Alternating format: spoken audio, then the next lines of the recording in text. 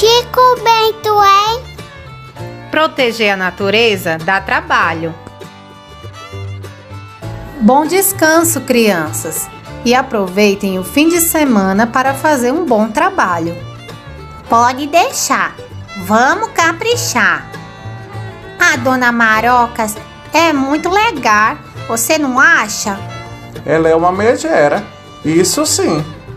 Ara, por que você diz isso? Ela deseja bom descanso e manda fazer um bom trabalho no mesmo balão.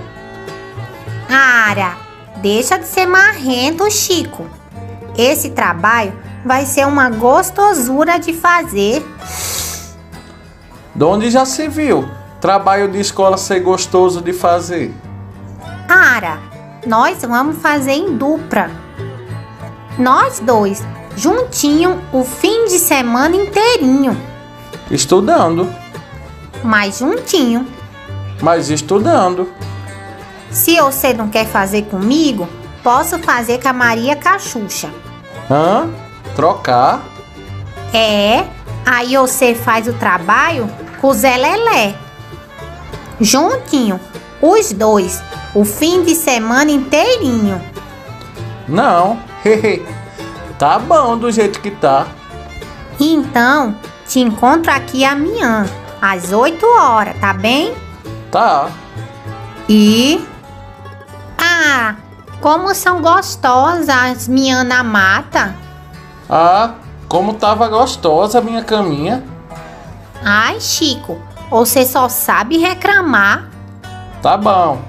Não vou reclamar mais. Por medo. É bom mesmo. Vamos escolher um bicho e anotar tudo que ele faz durante o dia. Hum, posso escolher o bicho? Pode, uai. Então, já tá escolhido. Olha, Ah, não, Chico.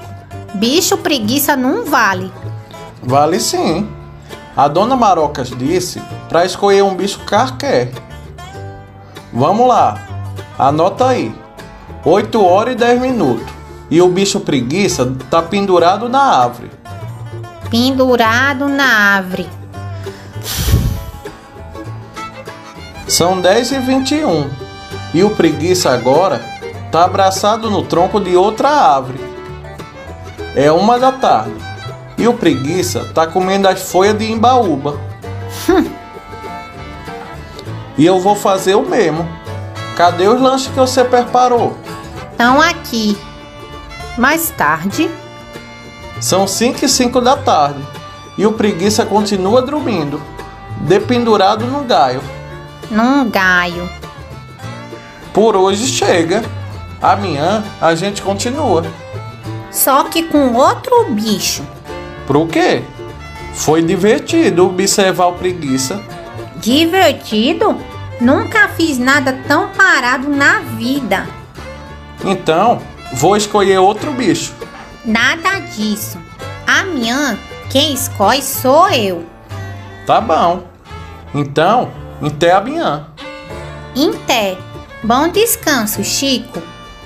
Tomara que ela escolha um caracol ou uma tartaruga. só que Você só pode estar brincando. Tô não. Eu sempre adorei os mico-leão dourado. Mas esse bicho pula mais que macaco. Mic? Chico, ele é um macaco. ah, é? Vai ser o miquinho. Tá resolvido. Anota aí. Isto não vai prestar.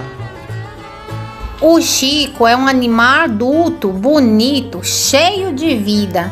Chico, você deu meu nome pro macaco. Mic? Ri, eu nem a reparei. É que sempre achei que todo macaco tinha cara de Chico. E eu, cara de macaco. São 8 e 5 da manhã. E o Chico tá coçando a orelha com o pé. Hum, Anota aí. 8 e 6. O Chico desceu de uma árvore, catou o fruto no chão e subiu em outra árvore. Vamos atrás dele. Nossa, Como ele é ligeiro, anota aí. Não dá para escrevinhar enquanto corro. Ele parou. Rosinha, vamos escolher um outro bicho, mais assossegado. Ele parece agitado. Mic, mic. Então, caracol é menos agitado. Lesma, lesma é legal. Quieto, Chico. Tem alguma coisa errada. Por que você tá achando isso? Ele tá agitado demais da conta. Ic, ic. São gritos de outro miquinho. Ahá, te apanhei, gracinha. Você vai fazer um passeio. Você vai me render uns bons trocados, gracinha. Ic, ic. São caçador. Era por isso que o Chico tava agitado. Ei, Tião, veja só o que eu consegui. Uhul! Uma arara vermelha. Eu tenho encomenda de uma. Ei, você não pode tratar os bichos como mercadoria. Crianças, Mas que intrometidas. fiz besteira. Foge, Chico. Não deixe que elas fujam. Podem trazer a polícia florestal. Deixa comigo. Você tinha que abrir o bico. Desculpa. Mas é que não aguentei ver eles prendendo os bichos. Agora já tamo encrencado. Bum! Vem cá, mocinha. Me larga. Larga ela. Senão eu. Eu. Senão o que, pirralho? Eu. Eu. Faço isso. Pestinha, agora você me deixou bravo. Corre, Chico. Ei, quem são vocês? Nico, agarra eles. Por aqui, Chico. O que vamos fazer? Entra no carro. O quê? Mas vamos ficar trancado?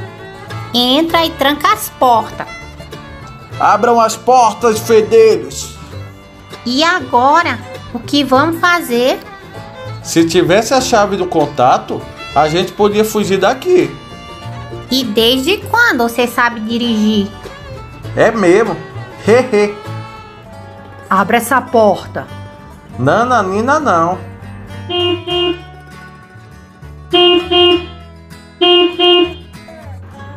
Bem pensado, Chico. Pensado? Encostei por engano. Enfia essa mão na buzina. Tá bom. Esse barulho vai atrair os policiais. Vamos quebrar os vidros e dar no pé. Não vai dar tempo. Vamos vazar. É a polícia. Uhul! Vai atrás deles que vou ver se as crianças estão bem. Entreguem-se. Se tentarem fugir, será pior para vocês. Vocês estão bem, crianças? Tamo sim. Não saiam daqui, que vou ajudar na perseguição. Boa, Boa sorte. sorte. Eu devia de ter ouvido você e escolhido outro bicho. Um caracol, uma lesma. Se você tivesse feito isso, essa porção de bicho aqui ia ser levada embora da mata. Pouco depois, Olha, eles prenderam os bandidos. Graças a vocês, crianças. A gente já estava na pista deles. mas se não fosse pela buzina, talvez a gente não encontrasse os bandidos. Nunca vi esse tipo de coisa por estas bandas. Infelizmente, tem muitos como eles nas nossas matas. Pelo que eu vi, ele já tinha encomenda desses bichos. Muita gente nas cidades quer ter bichos da mata para estimação. Mas a grande maioria não sabe que esses bichos não se acostumam a viver presos. Eles acabam adoecendo e morrendo. Tadinhos. De cada 10 animais tirados da natureza, nove acabam morrendo. Você não tem fregonha na cara, não?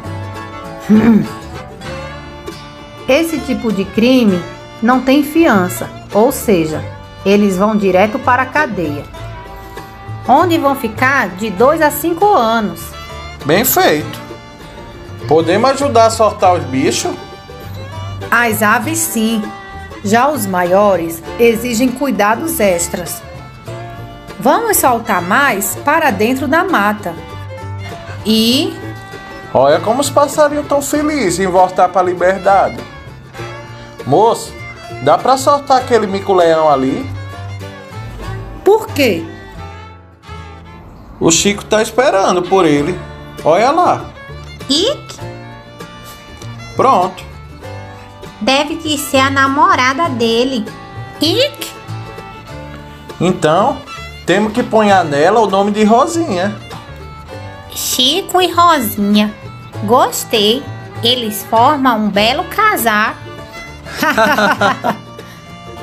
Na manhã seguinte, Aí, nós ajudemos a soltar os passarinhos e o mico-leão dourado, que batizemos de Rosinha. E esse foi o nosso trabalho. muito bem. A parte do bicho preguiça estava meio paradinha, mas o resto da aventura foi de tirar o fôlego. Nota 10 com louvor. Parabéns. Ê! Depois, Rosinha, se não fosse você, eu não tinha tirado esse 10. Ara, o que importa é que trabalhamos bem em equipe. E se Deus quiser, vamos fazer isso pela vida inteira. se depender das crianças, acho que este mundo ainda tem jeito. Gostou da historinha? Então deixa o seu like, vai. Ah, e não se esqueça de se inscrever no canal e ativar o sininho. Até mais ver, Su.